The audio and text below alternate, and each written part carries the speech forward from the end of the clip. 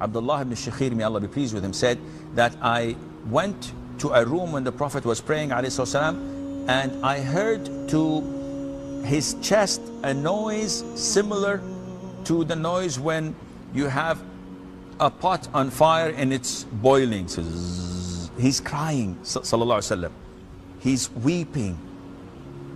Why would he do such a thing? Because when you remember Allah Azza wa when you remember the greatness of Allah subhanahu wa ta'ala, when you remember that Allah has created all this universe which does not mean anything at the greatness of Allah Azza wa Jal. and it is nothing compared to the greatness of Allah subhanahu wa ta'ala. And I, as an individual, I am nothing at all compared to this huge universe, let alone compared to the greatest of Allah Azza wa Jal. When you pray in the middle of the night and you recollect, or that is, recall your sins, your shortcomings, the things you've done to others, the things that you have done towards uh, to Allah the Almighty, and you feel how small and humiliated you are standing in front of Allah Azza praying and asking for forgiveness, you cannot help but to cry.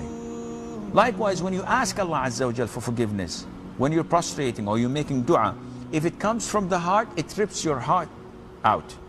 Because you know how bad you were, and you still are. And you don't know how Allah Azza is going to conclude your life. So you keep on praying, you keep on uh, uh, feeling this submissiveness and humility to Allah Azza and you cannot help but to cry. And that is why this is a little bit difficult. Why? Because you may try it for a year or two and nothing happens. But if it does happen, then you're among the fortunate one.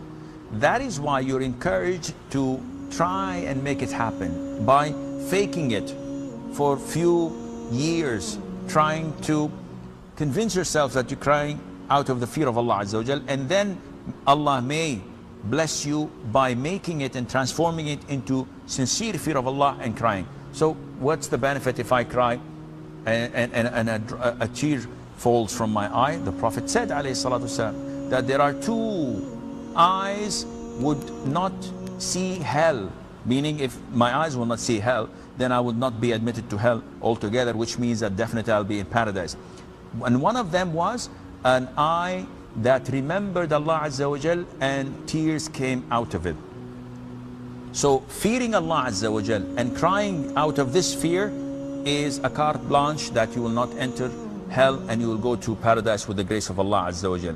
So yes, if you can force yourself, if you can fake it and, and, and, and pretend that you are doing this out of the fear of Allah, it would gradually turn into real and genuine fear of Allah Azza wa Jal. سبحان الله عدد ما خلق في الأرض سبحان الله عدد ما بين ذلك